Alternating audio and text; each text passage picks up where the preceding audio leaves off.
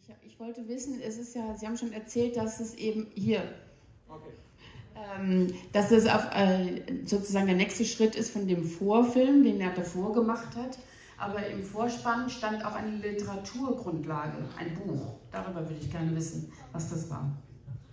那部小说很短，就是跟爷爷的梦里去要水枪，可是醒来水枪就没有了。我们做梦也是这样，我们做了一个好梦，突然被打断了，想要回去，真的回不去呢。它是一个潜意识、无意识的状态。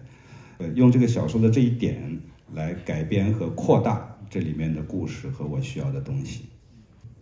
因为这个历史很长，一个电影的容量不可能所有都讲一遍，所以呢，我想通过这个梦，它可以随时呃进入到我想要的这个节点，所以这个时间和空间对我来说就非常自由的可以去剪裁。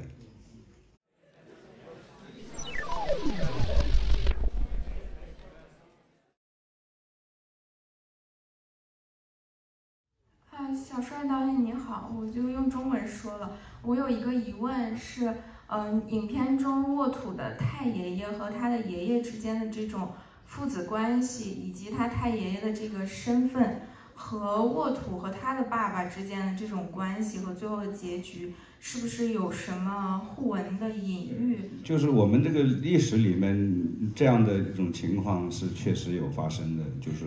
呃，在自己的亲的这种父子啊这种关系里面，有一些呃特殊的一种环境下，它会形成一种你们看到的这种亲人之间的反目啊、啊背叛呐、等等误解啊，这个是经常发生的。那么到新的一代里面，就现在的沃土和父亲之间又有出现一个新的这种社会环境和变化，啊、所产生的一个家庭它的这种啊目呃生存的状况，呃，我觉得这都是非常的真实和自然吧，嗯。呃，但对那个太爷爷和爷爷那段历史，我相信很多的年轻人或者甚至今天这么多小朋友肯定是不太了解，可能更更需要去知道一些更多的这个查阅这个背景。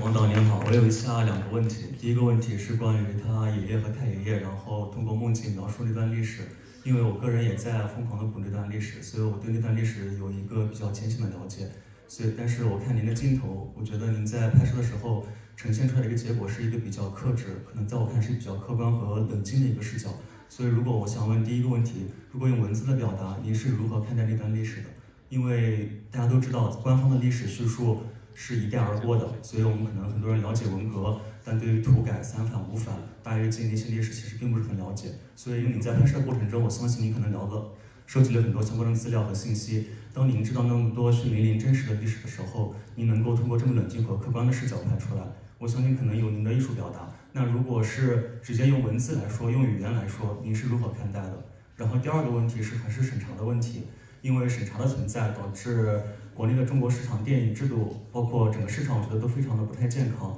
就是您是如何看待中国的市场和审查制度，以及您对中国的市场是否已经失望？因为这部电影拍完之后，我了解到的信息可能是很有可能会被禁拍吧。就是您对您个人的接下来的职业安排有什么一个职业生涯有什么安排？谢谢。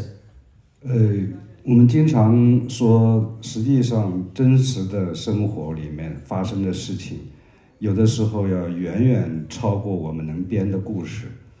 啊、这也是我对过去那段梳理和了解，能看到非常让人震惊的史料，不管从哪个层面上说，它都发生过。呃，那么我用电影的手法处理，我现在目前就是选择了这个角度，一个小朋友的角度，一个小朋友的角度，他可能是远远的、朦朦胧胧的看到一些表象而已。我对这个历史也是从文字和长辈的口中去知道，我也是用远远的只听、只想，所以这是一个特殊的一个处理方法。但是你们要相信，真的现实比我们想象的和电影里拍的要残酷得多。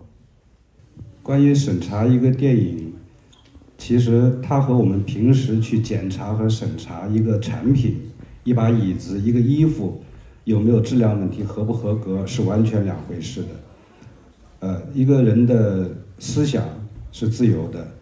而且你没有办法去审查另外一个人的思想。包括我自己，我只能创作出我所想、我的认知、我的想法，我也没办法审审查别人的思想。所以我觉得电影作为一个特殊的一个艺术创作的一个手法，自由的创作和自由的思想是非常重要的。我想通过一部电影，通过一个事，一点一点去推动一些改变。如果能未来能看到这个改变，我觉得是值得的。